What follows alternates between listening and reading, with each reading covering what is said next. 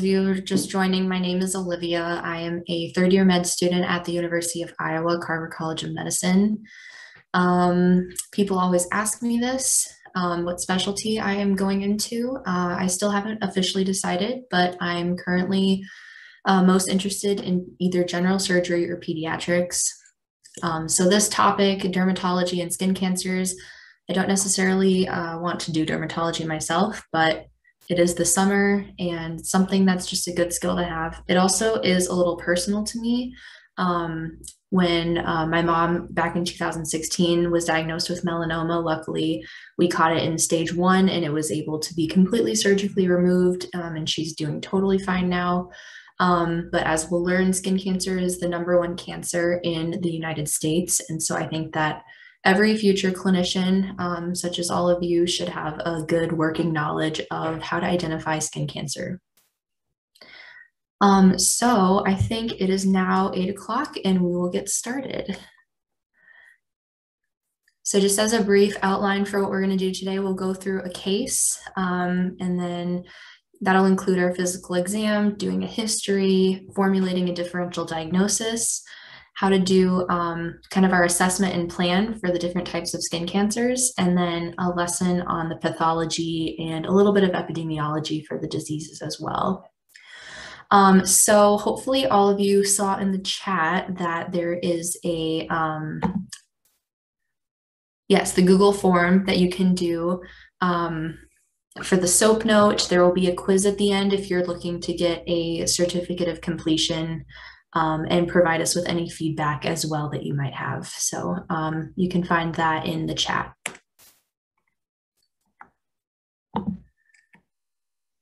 something. Okay, so there's the soap note. Everybody pull it up if you if you're interested in participating. If you're just listening, that's also fine. Okay, so our case today, we're starting with a 28 year old female who is present in her clinic, in our clinic, for an annual well check. So this is pretty common where people are just, they don't really have any specific concerns. They're just coming for their annual physical. And it's pretty obvious that the job of the doctor is to look for things that could maybe bring them trouble and to be able to catch them and treat them before they become problems.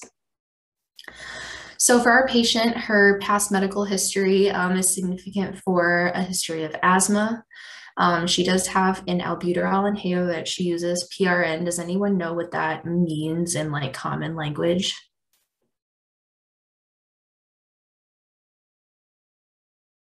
Yeah, exactly, as needed. Thank you, Gabby. Um, so just to take as needed whenever she has a flare up. She's also had two uncomplicated UTIs, meaning that um, they've just resolved with antibiotics and she hasn't had any further issues with those. And um, her other medication is a combined oral contraceptive pill for birth control. Um, her social history, uh, she works at a bank. She used to be a lifeguard in Florida, so spent a lot of time out in the sun.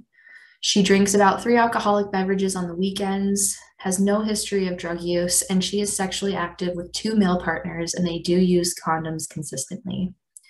So these are all just things that are good um, kind of baseline things to ask about your patients, not just to get to know them, but that you also have uh, some better understanding of what their risks might be depending on their social context.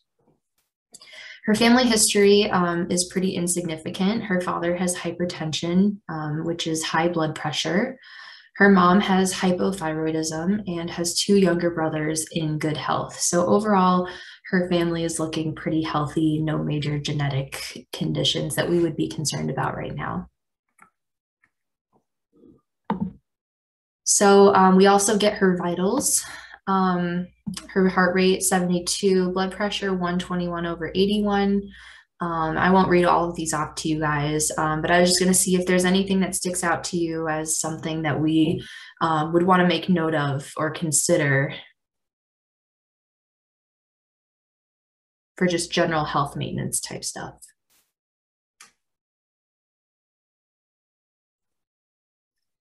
Yeah, her her respirations, I think they're they're pretty normal actually. Um, her heart rate, yeah, her heart rate's also so the general resting heart rate of a healthy adult ranges from 60 to 100 beats per minute. So she's kind of in the middle of that. Her blood pressure is um, you know, we say typically under 120 over 80 is normal. Um, so she's just like very slightly above it. And with her father's history of uh, high blood pressure, maybe just something to like let her know about for the future. Um, yeah, the rest of it, someone's mentioning BMI. Um, totally agree. Yes. So this is technically a BMI of over 30 is um, technically considered in the category of obese, which I, um, similar to Stephanie, I have very strong reservations of using BMI as an indicator of health, but um, it is still typically, you know, used as a screening tool um, and just kind of as a general marker for um, people who might be at risk for other health conditions. So I agree with that. It's not the only thing, and it shouldn't be the only thing that we use to assess people's um, risk for things. Okay, so on physical exam, um, we have a well appearing female who's well nourished. She has no acute distress. Um, H E E N T stands for head, ears, eyes, nose, and throat. So that's just kind of a head and neck exam. And um, all of these terms, um, you don't have to worry so much about what they um, mean. You might see these later in your career if you are maybe scribing or if you're going through chart review for a research project. Um, but these are terminology that is just kind of typically used um, in a, a, normal healthy person. So normocephalic, that's describing kind of the overall shape of the head. Is it very enlarged? Is it smaller than expected? Are there any weird bumps or asymmetries? Pupils are equally round and reactive to light. That's that's what we are looking for. Um, pupils that are uneven or not reactive could indicate a neurologic problem. And then her nasal and pharynx mucosa are clear and moist. We want to see not too much swelling, not any crazy amounts of mucus, um, not a lot of redness or irritation. Those are some things that might be abnormal on exam, but hers is normal.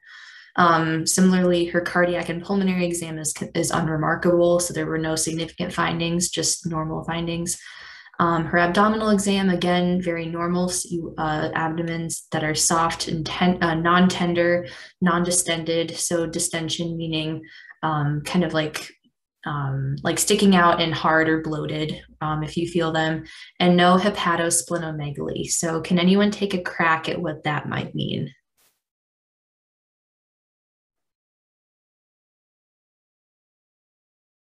You can drop it in the chat or you can unmute. Enlarged spleen or liver, yes. Exactly, yeah, Madeline or Madeline. Um, perfect, yes. So hepatosplenomegaly, um, or sometimes known as organomegaly, is an enlargement of the organs of the abdomen. Um, and that can, again, sometimes indicate certain uh, diseases. So she doesn't have any of those. So her skin exam is where it gets a little bit more interesting. Um, so there's this word ephelides, and um, that is the fancy medical term for freckles. Um, it took me a long time to actually figure that out. Um, so in case you ever come across that, it just means freckles. She has a lot of freckles on her face and her extremities. And then perhaps the most um, concerning finding on this exam is a three centimeter non-raised black and brown macule on the right shoulder. So on this picture, you know, these are all just kind of like stock pictures that I find, but you can kind of see that on the posterior or the back of the shoulder, there's this kind of round looking mole that has maybe a dark spot in the middle of it and um, is a little bit larger than the ones that are kind of around the rest of her skin. So, so those are the things that we're kind of looking for um, in suspicious lesions that we would want to maybe consider doing a biopsy or um, just doing a little bit of a further workup. And then lastly, for her neurologic exam, she has no focal motor or sensory deficits. Um, her gait or her walking is normal and her cranial nerves um, all are intact. So overall, very normal physical exam with the exception of these skin findings. Okay, so for our differential, um, you know, we have this three centimeter um, macule or mole. That's basically just a lesion um, things that it could be. So benign melanocytic nevus, or just a nevus in general, that means mole. Plural of it is nevi. Um, so a melanocytic one is something that's going to be pigmented. It's going to be darker, kind of like in the first photo above the lip. Um, doesn't necessarily mean that it's melanoma or anything like that. It just means that the cells that are in, that make up the mole are producing melanin. Um, Similarly, uh, on the side of it, um, the one that's kind of off to the side of the lip on that looks a little bit more skin colored or fleshy, that's just called a dermal nevus. Um, and that's pretty much the same thing. It's just a, a, typical mole that's not concerning, but it doesn't produce melanin or not as much melanin as the normal skin does. Um, other things that it could be is something like a dysplastic or a precancerous nevus. So some moles do um, become more suspicious and can eventually uh, kind of evolve into a cancer. Um, so a precancerous appearance is something that we want to kind of consider as well. And then lastly, the three major skin cancers that we're going to talk about today that would kind of be like a do not miss diagnosis. Um, the first being a squamous cell carcinoma, basal cell carcinoma, and then finally malignant melanoma. And we're going to go in detail into all of those three things. So those are kind of some things that we can um, think of in her in her lesion what they might be um, and not try to leave anything out of our differential. So at this point, um, does anybody have any questions or um, comments that you'd like to add before we move on?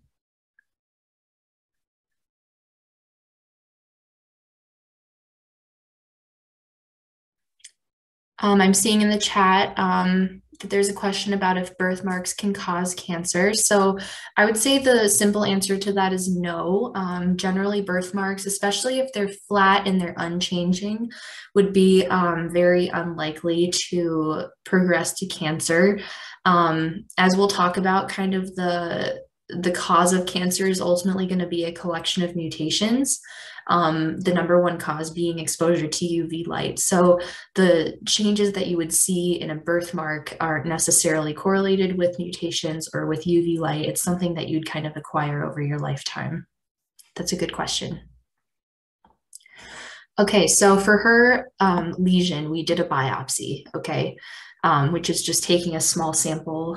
Um, you can take the whole mole or you can take uh, just a part of it and look under a microscope and see what you find. So these are her biopsy results. The tissue demonstrated a malignant melanocytic neoplasm. So that means um, something that is cancerous. Melanocytic meaning that it's the melanocytes is that's the type of cell that produces melanin, and a neoplasm meaning like a tumor or a mass. So she has um, essentially melanoma. Um, and the actual pathologic findings on biopsy are these little nests. I don't know if you guys can see my cursor, but there's these nests of these brown looking sort of like pebbly things that are all um, down in the dermis. And um, that's kind of demonstrating a compact cohesive growth pattern. So um, they're all kind of co um, congregated together and growing in one solid mass rather than being nicely spread out under the, or right on the edge of the epidermis. There's also this pattern of scattered mitoses and pleomorphic nuclei with prominent nucleoli and lack of maturation. So those are um, a little bit of advanced pathology terms that I don't want you guys to worry about so much. Um, but as you probably know, cancer is a like uncontrolled cell growth. And in order for cells to divide, they have to replicate their DNA. And so, one um, possible pathologic finding on biopsy is to see cells that are dividing. You can actually see the different phases of mitosis, like prophase, anaphase, metaphase, all those you know things from biology. Um, you'll be able to see those nuclei actually in those different stages, and that can um, sometimes indicate that the cells are uh, dividing too rapidly. Okay, so we're going to get into a little bit more of the general stuff. Um, first, just doing some brief facts, some epidemiology of skin cancer. As I mentioned earlier, skin cancer is the number one most common cancer in the United States. So um, one in five people will develop this by their age of 70. Um, there is a slight female predominance before age of 50, and then after that, they kind of become equal. The biggest risk factor is exposure to UV light. That's kind of the thing that induces the mutations that eventually lead to the uncontrolled cell growth and cancer. And um, five sunburns in your life doubles your risk of melanoma specifically, not just the other cancers, but melanoma, which is the most severe cancer. So it's summertime, wear sunscreen. And in the winter, also wear sunscreen if you're outside. Um, just to kind of take you guys through the normal anatomy of the skin, there's kind of these different layers going on. You might have seen a cross section before. This is a pretty simplified one. Um, so we have the two main layers, the epidermis and the dermis. There's also the hypodermis that's not pictured here. It kind of runs underneath the dermis, and that's kind of where like all of the blood vessels and the other structures run through. And then within the epidermis, we have the keratinized layer. This is all just protein that's being shedded off of the top layer of cells to kind of produce that waterproof coating um, so that you don't have, um, it just is more protective. It forms a nice barrier against things that could potentially enter your uh, tissue and cause infection. Um, this next top layer of cells, so this is the actual cellular border here. The top cells, um, these are squamous cells. And so you'll kind of notice that the border of the epidermis and the dermis, the cells are a little bit more like cube shaped. They're a little bit thicker, round, more plump, more what you would tip, uh, consider like normal cells. Those are the basal cells. And that's also where you get that thin layer of the melanocytes, which are the pigment producing cells. And then, um, yeah, they kind of just transition going upward. They become flatter and flatter until eventually this very top layer of skin is just like dead cells and they shed this keratin. Okay. So, um, this is kind of the pathology of just all cancers really um, not specifically uv light to all cancers but the general concept is that you get um, you know, this damage to DNA and that causes a mutation. So the specific mutation that uh, UV damage causes is called a thymine dimer or a cyclobutane pyrimidine dimer. So they can also happen to um, like any other purine. So T pairs with A and G pairs with C. So um, A can also get mutations as well. Um, the DNA polymerase or the enzyme that uh, you know allows for um, DNA replication to occur. Uh, also has proofreading activity, so it can detect where there's mutations along the DNA and perform nucleoside excision repair. So that's just like a DNA repair mechanism. Um, and these enzymes are able to correct most of the mutations. They do actually a very, very good job um, because think of how much UV light you're hit with every day when you go outside. Um, the recommendation is uh, for like vitamin D um, because you can, you know, get uh, get vitamin D from the sun. It's really just uh, activating the vitamin D that's already in your skin. But the recommendation for that is actually only about six to seven minutes on just your arms. Um, each day is enough to be sufficient for vitamin D. So a lot of people are outside for much longer than that, um, especially in the summer months. They're not wearing as many clothes they're um, out in the sun directly, the UV um, index is stronger. And so you're really blasted with a lot of um, this electromagnetic kind of like high frequency light that's going to um, induce these mutations. Luckily, we have good uh, mechanisms, but they don't always work. And so the main genes that are affected by this um, are tumor suppressor proteins. So, like P53, some of you who have been in genetics probably recognize this. Um, and the job of tumor suppressor proteins is to inhibit or not allow the proto-oncogenes, which are the cancer-causing genes that um, essentially allows the cell to divide uncontrollably. Some examples of those are the, the BRAF or the BRAF, and then the RAS, if you've uh, maybe recognized those from genetics, but again, specifics not super important here. The main concept is that they all lead to uncontrolled cell growth, and you get this sort of um, stages of the cancer. So it starts with like a hyperplasia, that's just like a specific part of the tissue that gets thicker. Um, this can eventually turn to a dysplasia where the cells start to take on like an atypical morphology. They like don't have the same architecture as normal cells. And then um, in situ cancer and invasive cancer. So those just kind of progressively grow and become more and more invasive. So the first type of skin cancer that we're going to talk about today is called squamous cell carcinoma. Um, squamous cell carcinoma and basal cell carcinoma both have really excellent rates of um, being able to be cured. they very, very rarely metastasize to distant sites and can be basically cured by just ex excising them from the skin. So this first photo here, this kind of scaly red patch on the skin that kind of just looks like a piece of dead skin. This is actually called an actinic keratosis. This is a precancerous lesion to the squamous cell carcinoma, and they have this sort of red scaly surface. Um, and the idea is that because this isn't a full cancer, it's contained to the epidermis. So um, like here, this is this is maybe like what the actinic keratosis is at, and then the squamous cell is this invasive type of cancer. So then um, this would be an example of a lesion of a squamous cell carcinoma. You can see it's larger. It's definitely more red. It has this sort of central ulcerated appearance. Um, and on cross section, so this is kind of a similar cross section to the normal skin slide that I showed a little earlier. Um, you know, we see these atypical type cells, this pleomorphic type cell um, that go all the way from the epidermis, which is where they're supposed to be. They're supposed to be at that very top layer of skin, but then they're also penetrating down into the dermis where they're not supposed to be. And then kind of a hallmark finding of squamous cell carcinoma are, it's kind of hard to see here. I maybe didn't pick the best picture, but there's these kind of swirly looking cinnamon roll type things that are called keratin pearls.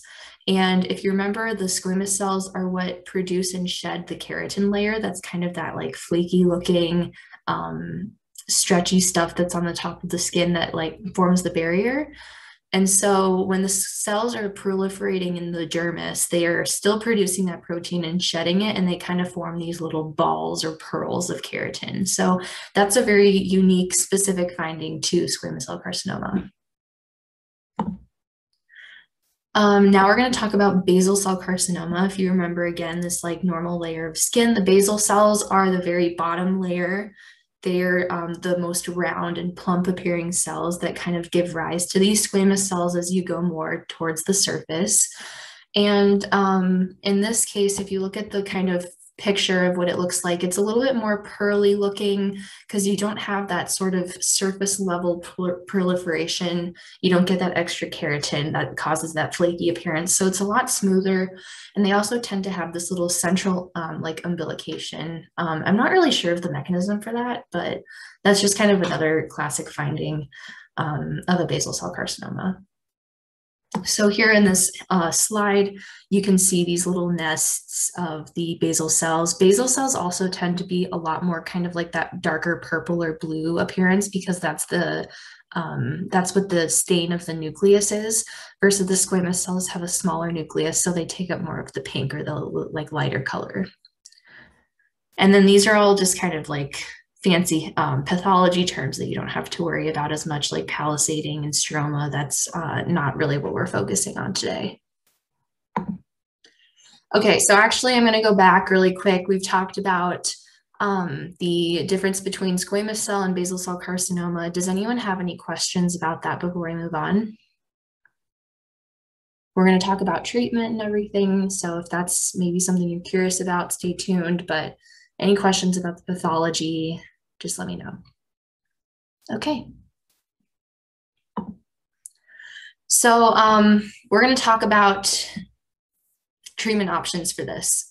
So um, primary prevention, like I said, UV protection. So sunscreen, sunscreen, sunscreen, sunscreen, and also just like staying out of the sun if possible during the middle hours of the day um, if you are outside in the sun, to wear protective clothing, to try to stay in the shade, um, wearing sunglasses because you can also get UV that enters your eyes. You can actually get melanoma in your eye, which is really crazy.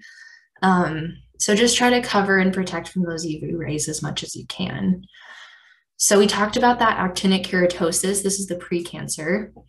We want to try to prevent it from progressing to the squamous cell carcinoma. So we can get rid of this in a couple different ways.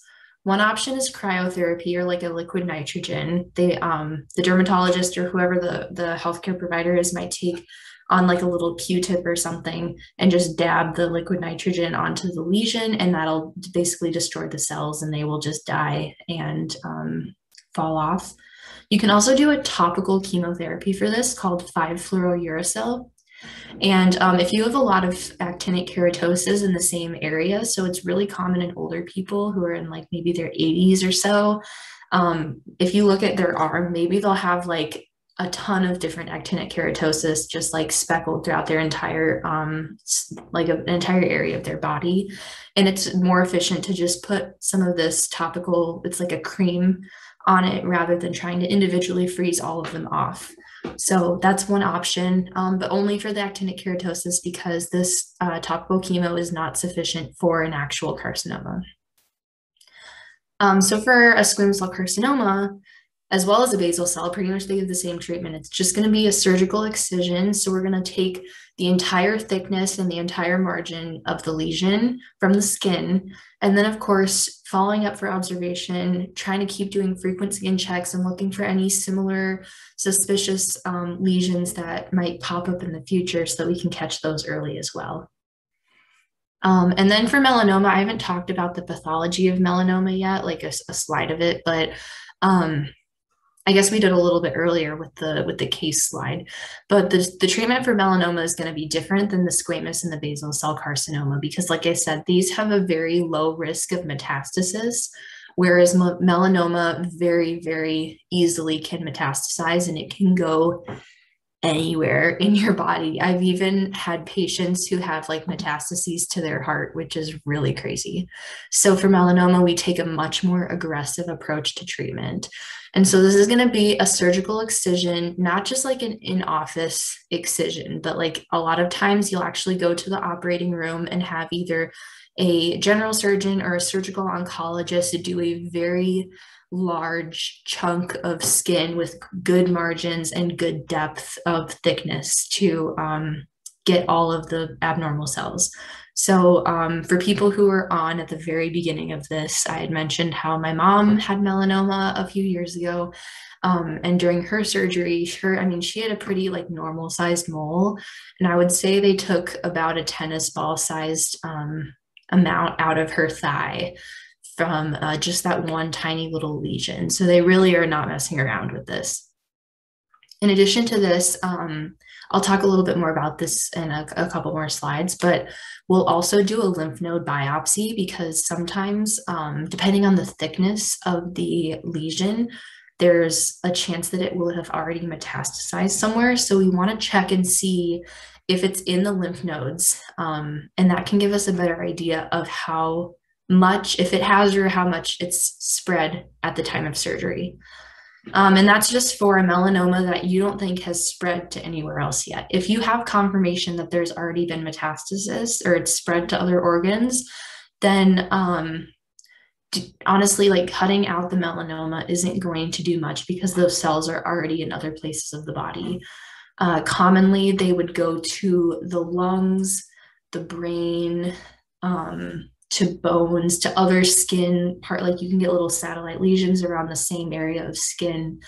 So um yeah it can it can spread to some very serious organs. So for this we would do a full like systemic chemotherapy um, possibly radiation therapy and possibly like a debulking surgery. But um, you know obviously metastatic melanoma has a worse prognosis and at this point, it's not feasible to surgically remove all of the tumors. So we try to target it with chemo and see what we can do from there. Does anybody have questions about the treatment options right now? Does that all make sense? How we're kind of moving from a less aggressive, less invasive approach to when we get to the more serious diagnosis, we're, we're getting very aggressive with treatment. Okay, great. So we're going to talk about the uh, cancer staging system, and this is something that you can apply to any type of solid tumor, basically. So our patient, if you remember, um, was uh, who had a, a uh, malignant melanoma. She was staged at T2A, N0, M0 melanoma. So let's break that down. So the T and the N and the M, the TNM system is, like I said, it's something that you can apply to any solid tumor, and they all stand for the same thing in every case. The first one is tumor size. So in this case with melanoma, we don't look at the surface area that um, that it's covering on the skin, we look at what's called the Breslow depth or the thickness of the lesion from the surface of the skin down to wherever it ends. So if it's extending all the way into the like hypodermis where the blood vessels are, that would be a much more concerning and a higher staging for the T of the TNM.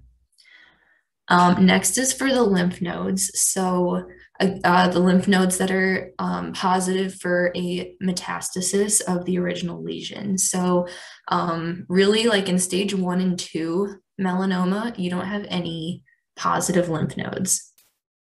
And um, I'll talk about the difference between the sentinel and the distant nodes.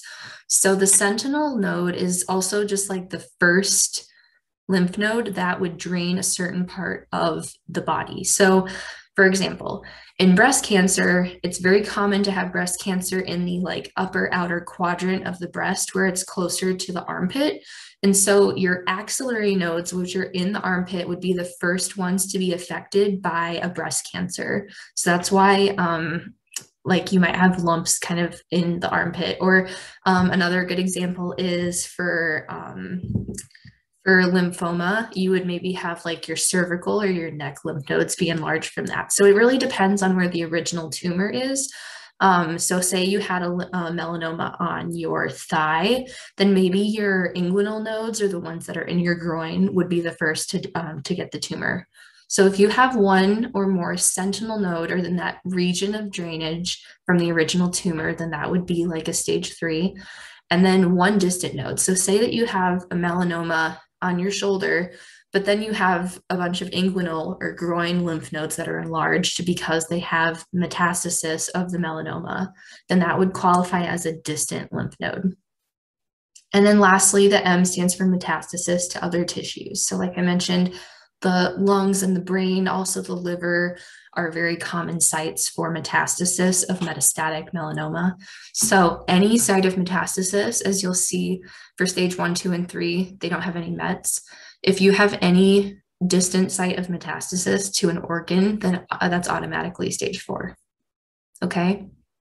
So, um, and then another thing here that the letters may indicate specific um, like character of these things. So with the tumor size and the thickness, for example, like this one had um, no ulceration. You can get ulceration or other variants depending on what um, character you're trying to describe, but uh, that's uh, not as important for this. I just want you guys to understand what the TNM means and like how it kind of progresses from one to four. Sorry. So, um, any questions with the TNM staging system?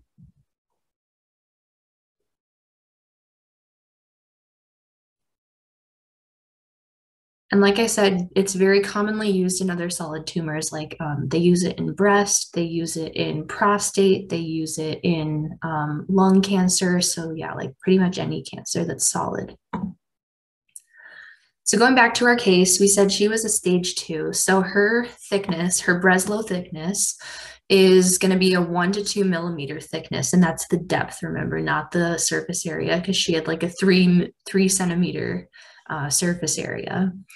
And for this, we have a very good survival rate. The survival rate, and I would say even these numbers, you know, I, I, I got these um, numbers from ResearchGate and, and they might be a little bit um, conservative. I would say, you know, she has at least a 70% chance of five year survival with complete excision um, of that of that node or of that lesion. Um, obviously, getting caught in earlier stages will give you a better chance of survival, um, and the later you have, um, the worse chances of survival. So ours was a 2A melanoma. So she was treated surgically with a full thickness excision and margins. And the margins, again, are to ensure that you don't leave any residual cells behind.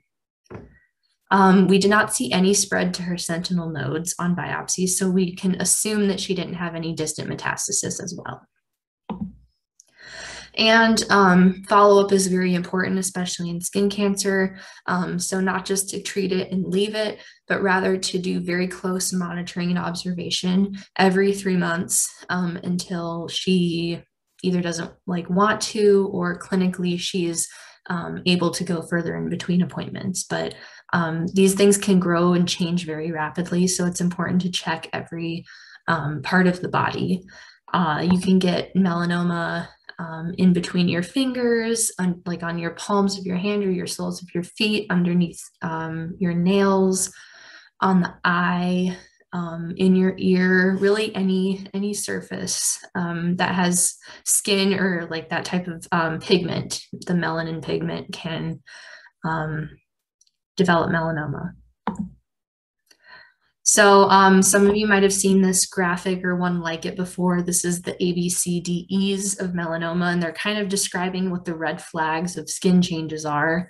Um, so this is maybe something, if you take away something from this, you know, I do want this to be educational for all of you future doctors, but also hopefully you can take some awareness away and um, be able to apply this and, and give advice to people, your loved ones, yourself, um, of things to look out for that would be something to check out. So the first one is asymmetry. So this is where, you know, there's uh, maybe something that doesn't look the same on both sides. And I'm not saying like, oh, it has this little tiny like wave on this side that's not on the other side. But if it's, you know, like in this photo, grossly um, asymmetrical, then that would be probably something that's abnormal.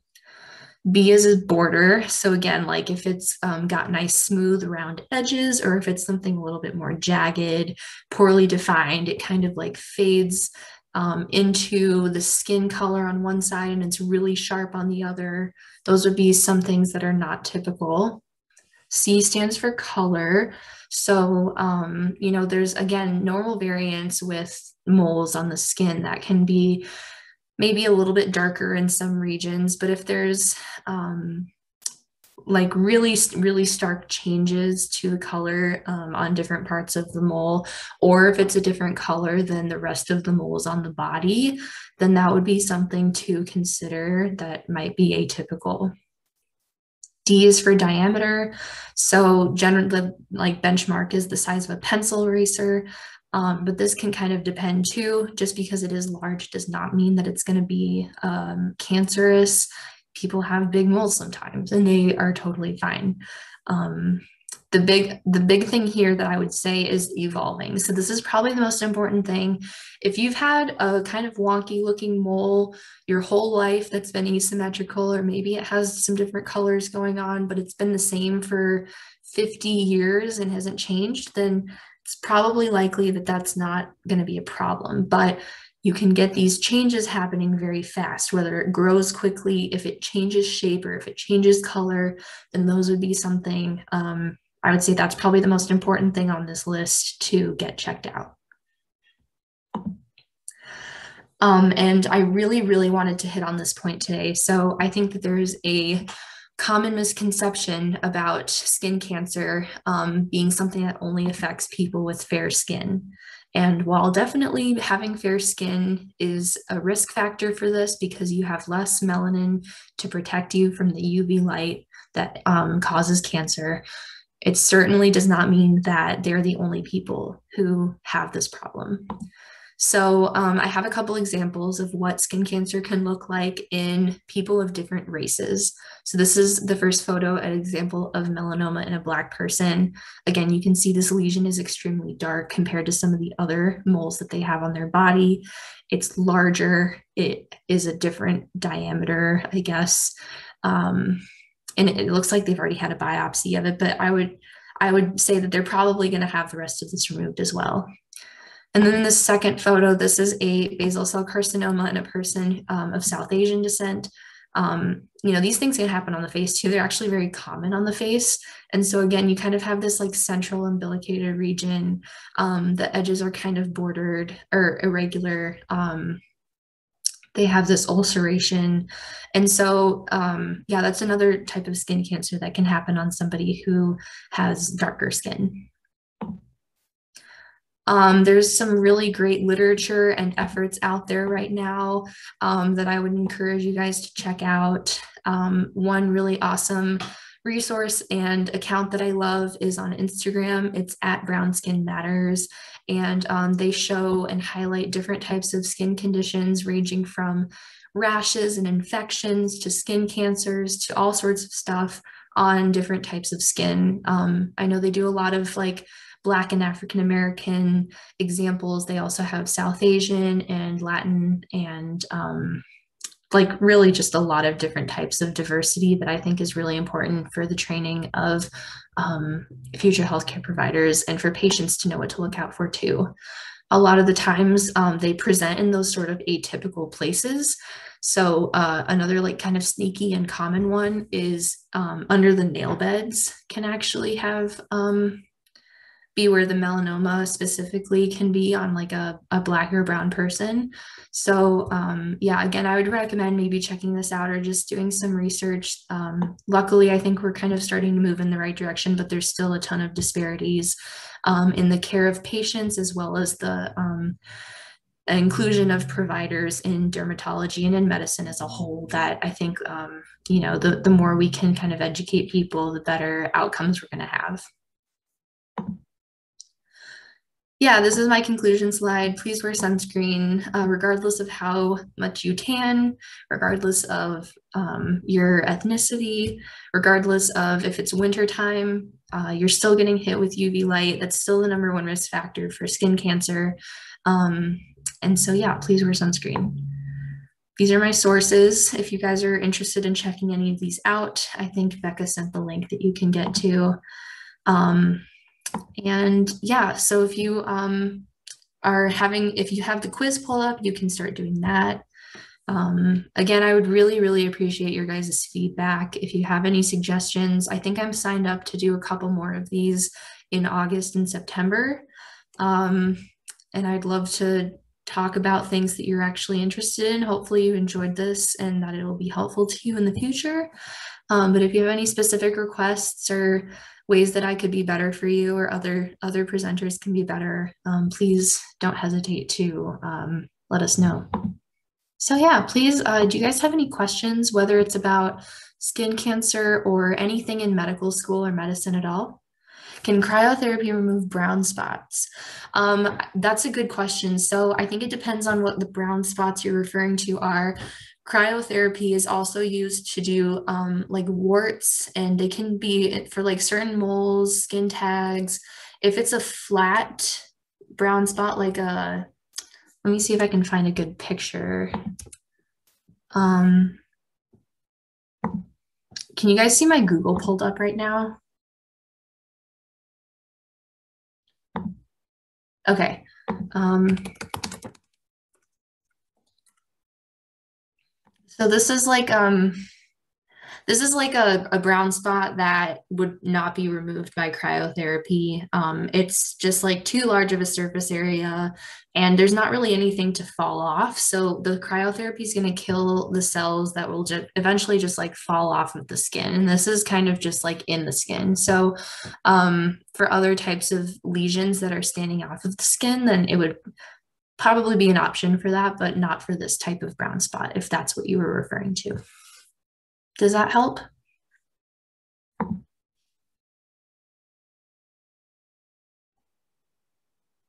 How to remove that type of brown spot? Um, I don't really know. That's a good question. I don't know if there is a way. Um, but there's really like nothing pathologic about that. It's it's very common, it's very normal. Um, I guess there's there's some genetic conditions where you have kind of a lot of those on your body, but there's there's not really any modifiable risk factors for it, and there's no medical need to remove it. It would probably just be cosmetic, um, and I honestly don't know the answer to that. Is hydroquinone effective for lightening? Um, I am not educated on skin lightening products. Um, I'm sorry if that's not helpful to you. Um, but I can I can do some research if you'd like, and I can like maybe email you or talk about it the next time if that's something you'd be interested in. Sorry that wasn't very helpful, but yeah, like I said, I'm I'm not really that familiar with those types of products. What other questions do you guys have? Can you tell a mark is melanoma just by looking at it? Do you have to do a biopsy? Yes, that's a great question. So we can we can have a high suspicion for melanoma, but just like any type of cancer, um, we cannot prove that it's melanoma until we do a biopsy.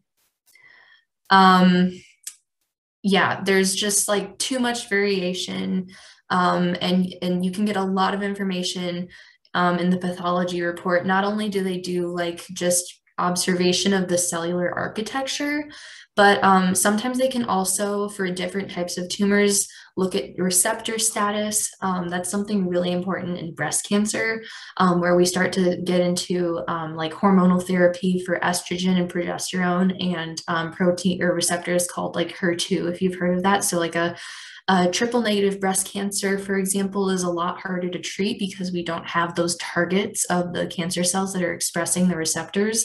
Um, I don't think there's anything specific for melanoma that has variation.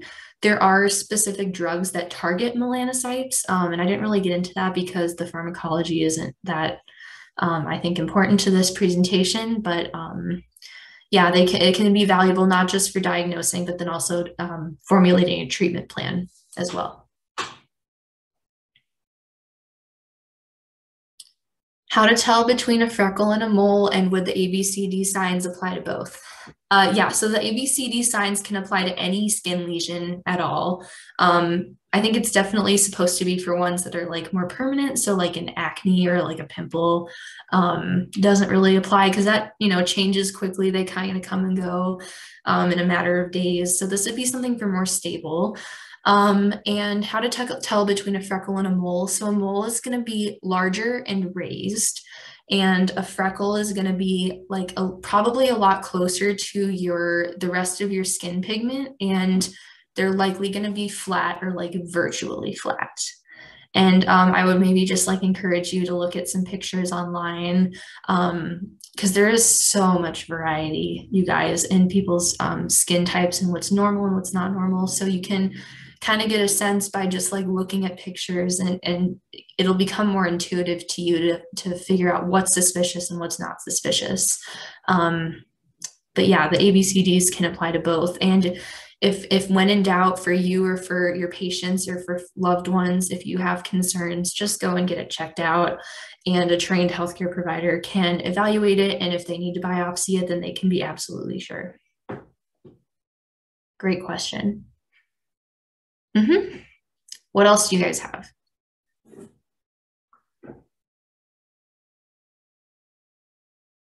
Any questions about med school or applications or other dermatology things that I can try to take a crack at, but um, might not be totally helpful with. Link.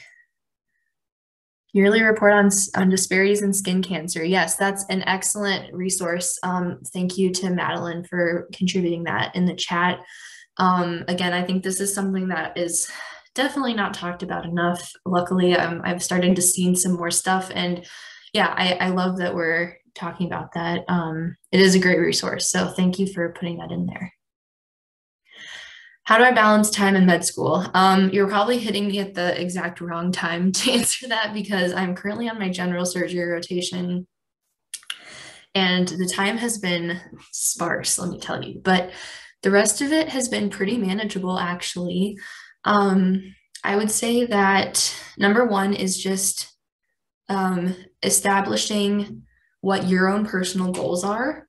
Um, so for me, I don't really feel that it's within my goals to exert myself so hard and spend so much of my time um, like gunning for good grades or to get honors in my classes. So I really strive to um, be at a, a, level sufficient for passing my my classes and still have a good knowledge that will be able to benefit my my patients in the future. Obviously that's why we're in med school and like learning is to take care of people Um, so for me, that like also just frees up a lot of time and takes off a lot of pressure.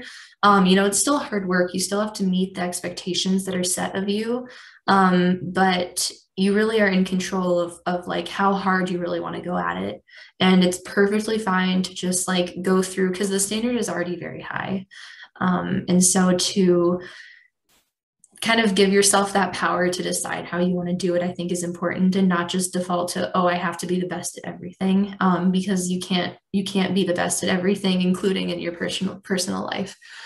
Um, I have a couple more questions. I'll come back to that um, one later if you want to talk about it more. But for the SOAP notes, yeah, so um, I can go back to the slide for um, our kind of like HPI. You guys can look at this part for your SOAP note. So this is going to kind of go in all the subjective uh, section of the SOAP note. Um, and I know we kind of breezed through the vitals. The vitals and the physical exam go in the objective part. So I'll leave this up for a couple minutes and then I'll go to the next two slides so you guys can kind of like copy that information in. Um, but again, like that's that's not really the it's not going to go into your grade and and more so it's just um, to kind of help you guys organize your thoughts and not not as much for like points or anything so but yeah here's the history and then i can move on to the objective in a couple minutes so, uh, artificial intelligence enhancing or threatening dermatology. Can you integrate telemedicine into derm? So, yeah, that's that's a great question, Kay. Um, artificial intelligence. I, I guess personally, I would say that dermatology would be one of the like, not like last ones to go, but you really need a person um, really observing and watching these things evolve over time um, and getting the actual biopsy done that's i think something that isn't going to go anywhere because um, yeah you can take pictures of stuff and you can have maybe like um i don't know like if you if you took your own picture of a lesion at home for example and sent it to your provider um, they might tell you, hey, I need to come, I need, I need to have you come in and see me and I can do like more of a workup, but they still have to have you go. And whether it's the first thing that you do and they they catch it for you, or if you ask them about it and then you still have to end up going in anyways. Um, I don't think it really matters because the ends is the same. The end is going to be that they they have to eventually ev- evaluate it themselves and um, yeah, just kind of like track things over time. And then for telehealth and telemedicine, I guess I kind of got into that a little bit too, but um, to kind of get like an initial perspective and to be able to voice your concerns, because uh, I think one of the great parts of telemedicine is that you can have better access to um, an opinion for what you should, what your next step should be. So if you're like, I'm not really sure if I should go in for this, I don't want to waste a trip or whatever, like waste gas driving to the doctor um, and a bunch of time sitting in the waiting room. Do I actually have to come in and get this checked out? That could maybe be a good tool for that. Um, but I, again, like I said, I don't see that replacing an actual in-person evaluation um, to make sure that we don't miss anything. Excellent question.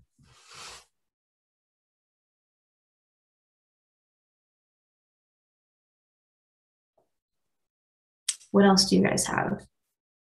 I love doing these things and I don't have any other plans tonight. And I had a coffee late in the afternoon, so I have a lot of energy right now. Um, I can stay on as long or as little as people would like me to.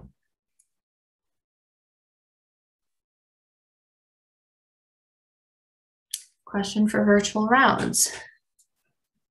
Yes, the recording will be posted after this. And for virtual rounds question, if you went back and watched the videos, filled out the Google Forms, um, I think, Becca, you might have to chime in. Okay, good. Excellent. Yeah, there I was going to say. So there you go. That's the answer. And I think we do these every week, I want to say, and there's kind of different presenters each time uh, who do different topics depending on what their interests are. Um, personally, I've kind of used this. It's a great way for me to actually review and study. Um, so I'll kind of review stuff that I'm maybe is relevant to me at the moment. I'm on surgical oncology right now, so I've actually seen some melanoma patients um, who are going through this type of treatment. Um, what made me pick dermatology? So yeah, I actually am not in dermatology and I don't really want to go into dermatology. I picked dermatology for this topic because like I said, no, it's okay, no worries. Um, it is confusing because it seems like, you know, I, I would pick something that I'm interested in. But um, yeah, mostly because it was kind of a good review for me on surgical oncology right now and because it's just relevant it's relevant for the season it's relevant for me and like my family and it's probably relevant to a lot of you guys as well. So and i think the main reason why was because somebody requested a derm topic on the last one i did a pneumonia talk last time. And so i really do like want to hear what you guys are interested in so we can talk about that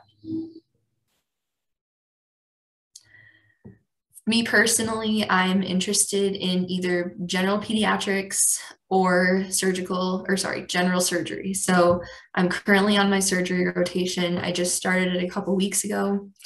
And um, I really want to like it, you guys. I love being in the operating room so much, but the hours are just brutal. Like I was at the hospital at 5:30 today and I was in clinic even until like 6:30, which is ridiculous. Um, I'm very, very big on work life balance or just like wellness in general. Um, and it's definitely, this is one of the last specialties I think that's kind of catching up to the whole like doctors are people too. And um, to have that good balance. So I really got a lot of that support and uh, I don't know in pediatrics, everyone was just very understanding, very welcoming. The people were really what I loved about it.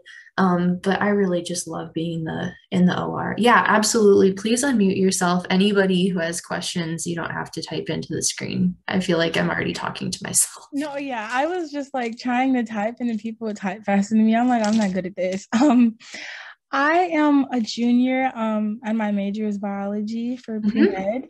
And so um, the second half of one of my questions was how is your transition from medical school, I mean from undergrad to medical school? And yeah. also how is your like MCAT journey? Because I'm about to venture that part right yeah. now. Um, yeah, those are great questions. So uh, I guess I'll talk about the MCAT first because it's kind of like a a sore spot for me.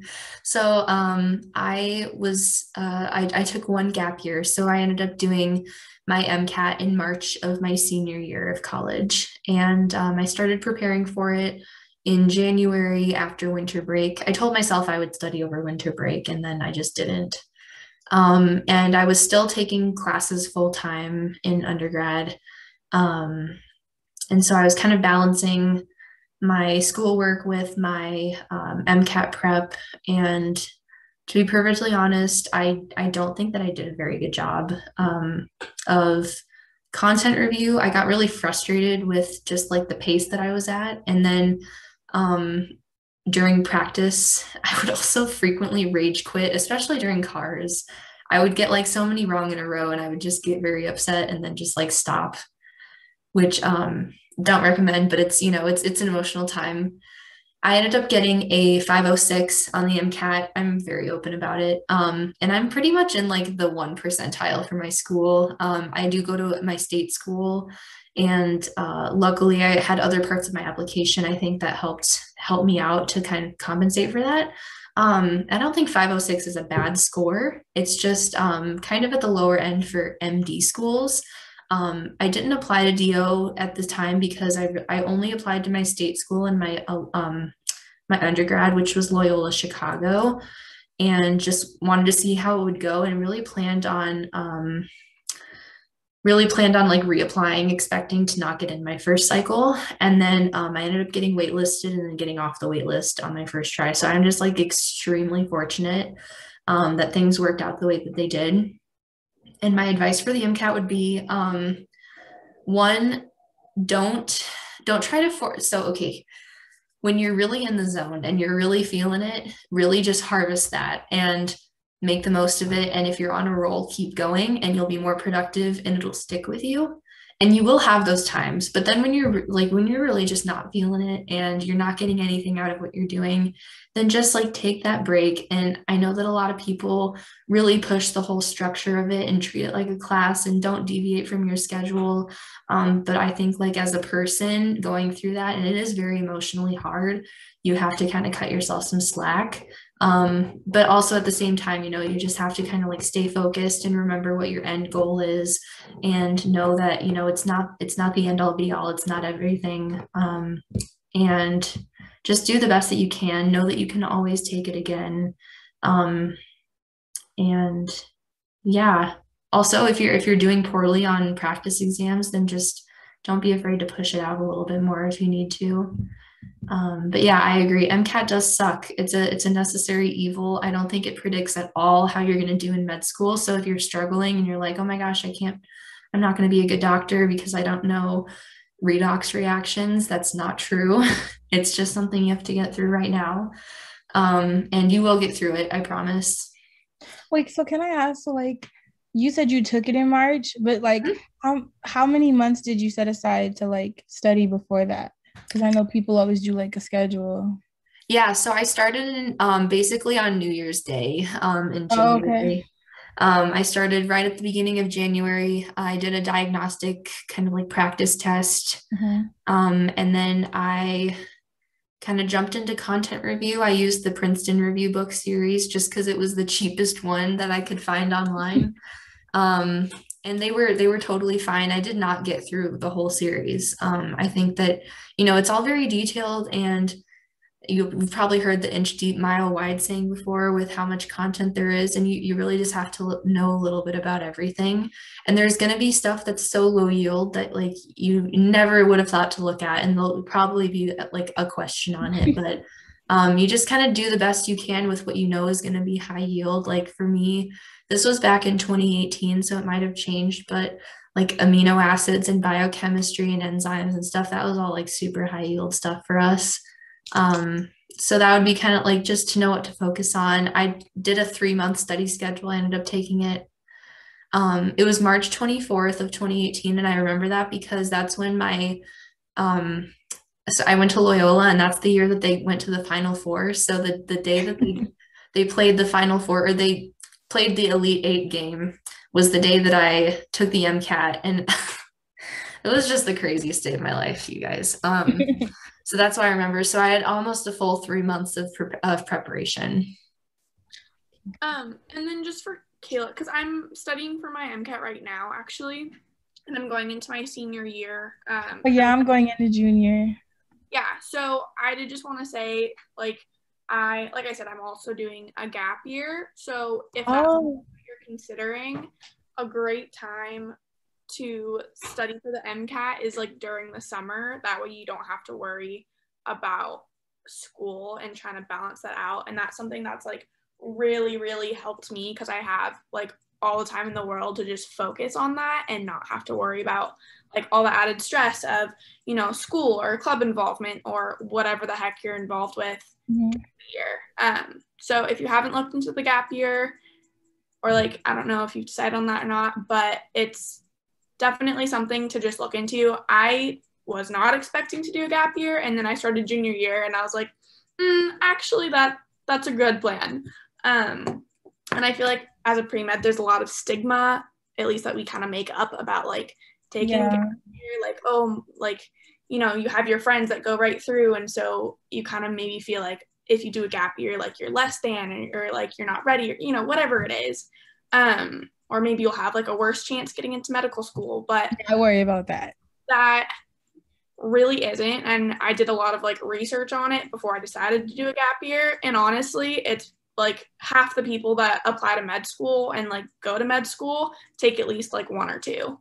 Um, it's become like very, very common. And so honestly, it can't hurt you unless you do nothing during your gap year. Like if you take a year off and you know, just sit at home, like probably not gonna look great.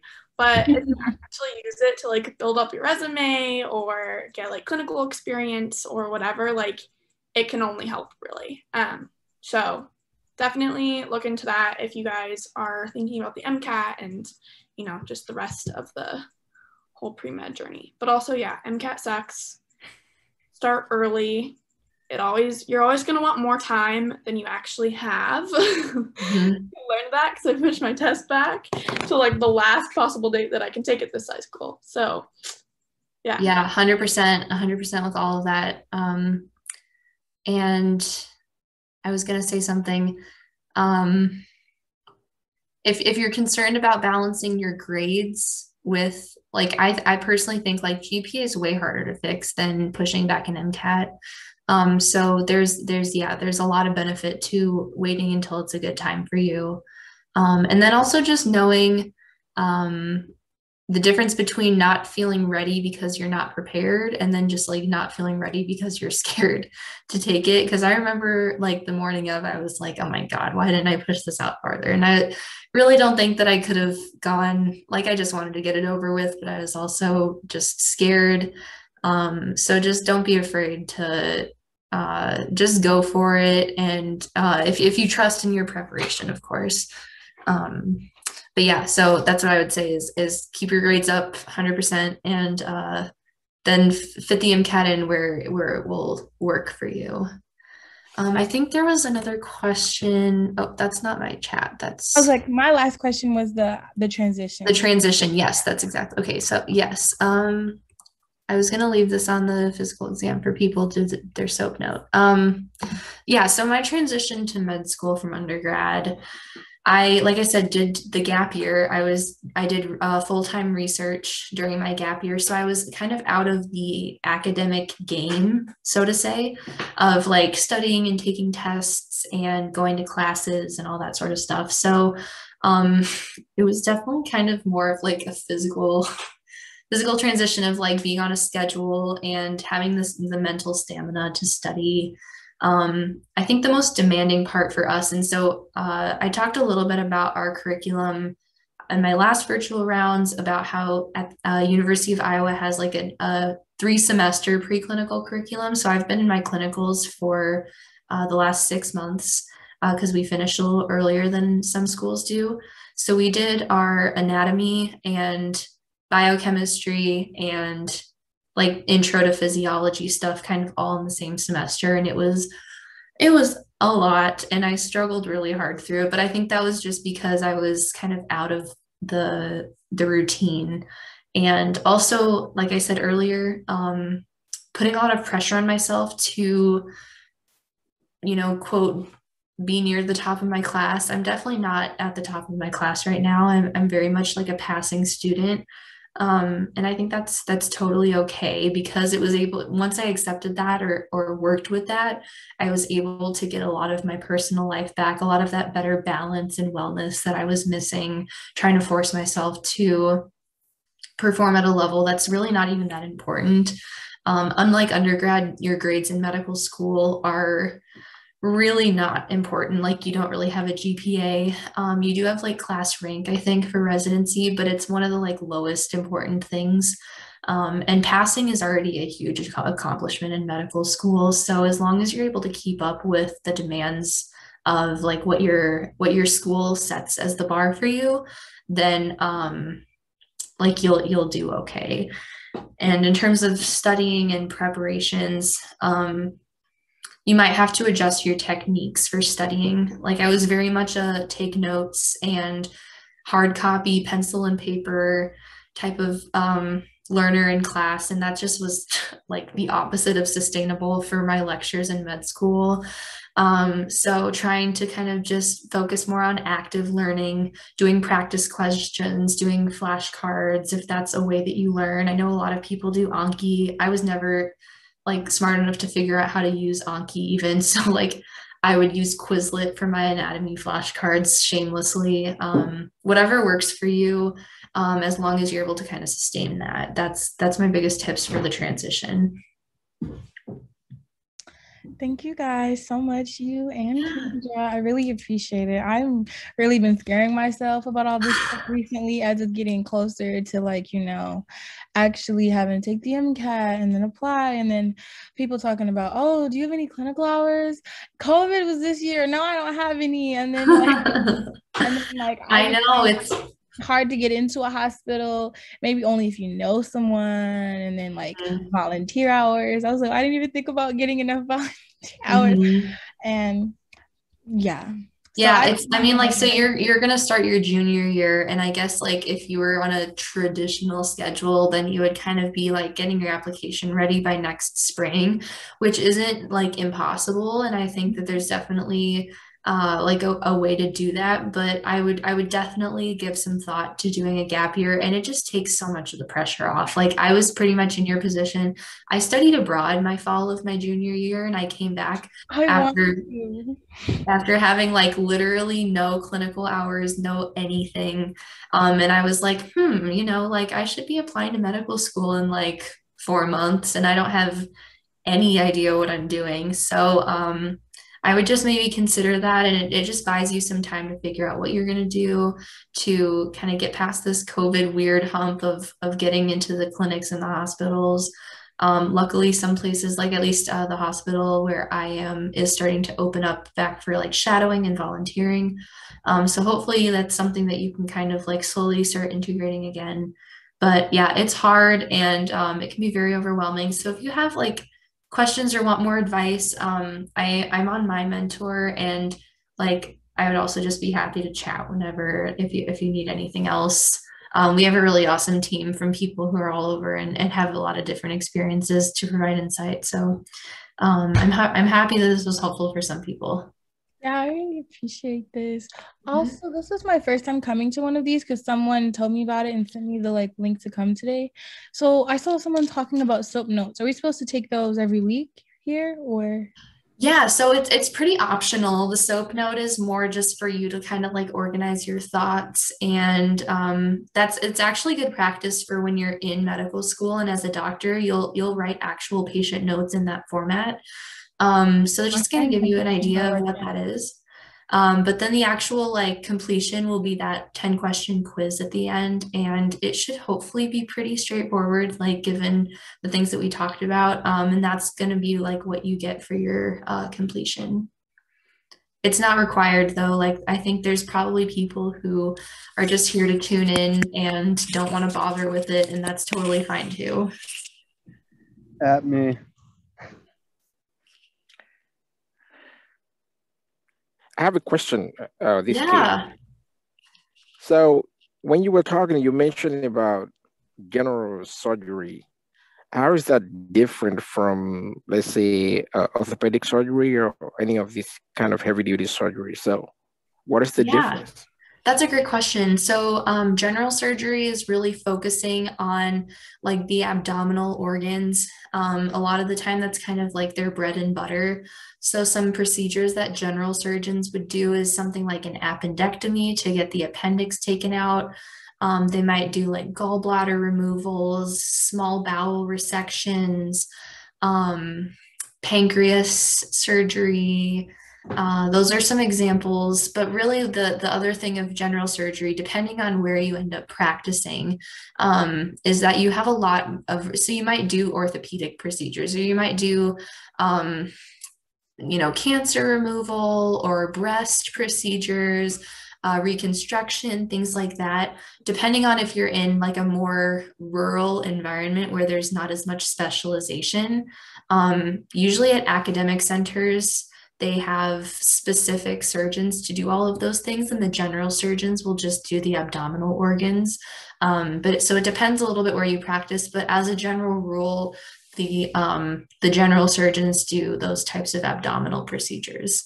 Um, and then of course you know there's ortho with the bones and um, plastics would focus on like the reconstruction uh, vascular is going to do like the blood vessels cardiothoracic would be like the chest cavity, the heart, and the lungs. Um, ENT surgeons would do the ear, nose, and or just like head and neck surgery. those are some other examples, but yeah, the general surgery is abdominal for the most part.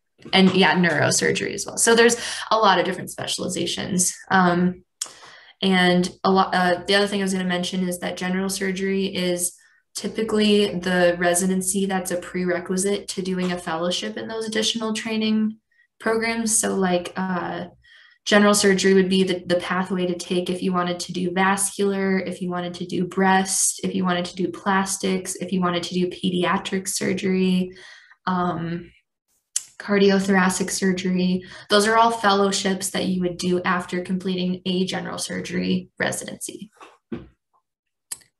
My contact info. Yeah, okay, yeah. So um great. And does that answer the question about surgery? Yeah, but that works. The only thing is that how many uh, how many years of residency is that? Is it still the same four years for, for general surgery? General surgery is typically five years, um, with like one the first year being like an intern year, um, and then some programs, depending on where you are, um, have like an optional one to two years of research. Um, and for certain fellowships, the two most competitive fellowships after surgery are surgical oncology, so like cancer surgeons, and pediatric surgery. So um, if you're interested in doing those specific subspecialties, then um, it would be more likely that you would want to do some research years during your residency training. But um, as a rule, it's a five year residency that's a heavy duty right there. Yeah. Thank you. Yeah, absolutely. Um, I had a question about so you mentioned obviously like your MCAT didn't go as you expected it. Like I said, I'm like in the middle of studying for my MCAT right now. And so it is kind of scary, especially as you like start doing the full lengths and maybe like aren't getting scores that you want. So I guess the first thing is if you don't mind talking about it, I know it might be kind of touchy, but like oh, that's okay consistently scoring around like a 506 is what you got or like okay so i i was um kind of on the upward trend i guess if you will i think my peak score that i got to was a 509 and my goal score was a 510 so i was like oh you know maybe like i'll get up there on the real day. Um, and I think, uh, as kind of a general rule, you can kind of expect to be plus or minus like two points from your your average full length test. Mm-hmm. Um, and so I was kind of, you know, optimistically hoping for the plus two.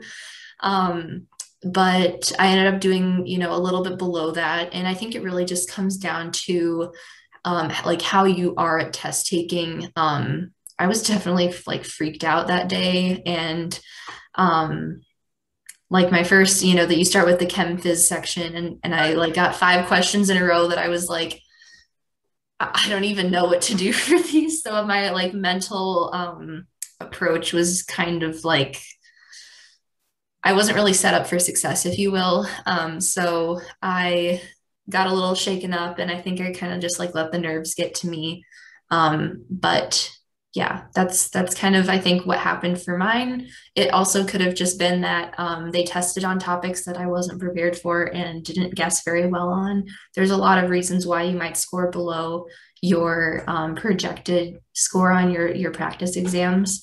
Um, but I would say, yeah, generally you can probably expect like a plus or minus two would be my guess. Um, you also did mention like, I mean, obviously you got into medical school, um, mm-hmm. and you said that a lot of that was because of like your other aspects of your resume and like participating mm-hmm. in different things. So if you just want to kind of go more in depth and like what other things you had that were like boosting up your resume and that you were involved with. Yeah. Okay. So um, the way that I've heard it described as um, for like kind of your your recipe for like success in medical school applications is one is going to be your stats, which I actually hate, but like it's kind of true. Like you just have to have a good GPA and you have to have a good MCAT score. Two is going to be your clinical experience. Um, that area i didn't i don't think i had particularly anything that was like super wow factor um, i did um, a lot of clinical volunteering on the floor in a hospital um, kind of like assisting with the nursing the like the patient care techs and the nurses with patient care duties as I sort of like started off with stocking supplies and doing cleaning and stuff. And then as i you know get to know these people and they get to know kind of what your goals are they might let you help out with additional stuff. Um so but i don't think that's really like that uncommon for people to have the volunteering that i had. And then um kind of like a unique aspect to you that kind of sets you apart from other people. So um like a couple unique things that I had was I minored in theology and I did a lot of stuff with humanities um, when I was in undergrad. So, like I said, I studied abroad. I went to Rome for a semester um, and I did some stuff with like humanities and philosophy there. Um, I did some service like uh, with the Catholic Church when I was there.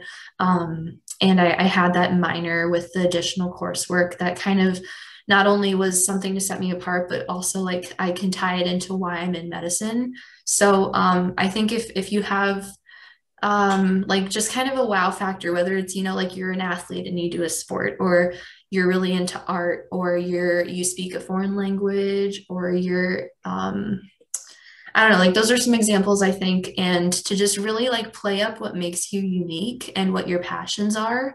Because um, ultimately, like everyone in med school is going to have those first two things. They're going to have the, the stats and the clinical experience.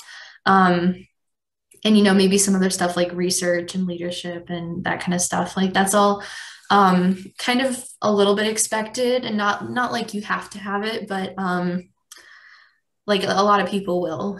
And so the way that you can really just like make yourself unique. And um, my way was just kind of highlighting those uh, experience that i had um, while i was in college. All right. Thank you. Mm-hmm. what else do you guys have